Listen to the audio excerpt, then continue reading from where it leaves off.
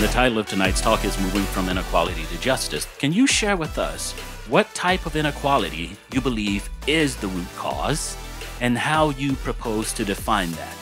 I think the root cause is racism and classism.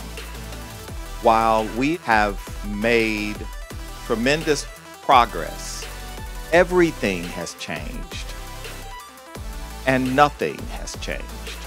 So, my challenge is to demand that we look at the root causes. Our souls need nourishment, souls need healing. And I think that's what this country needs.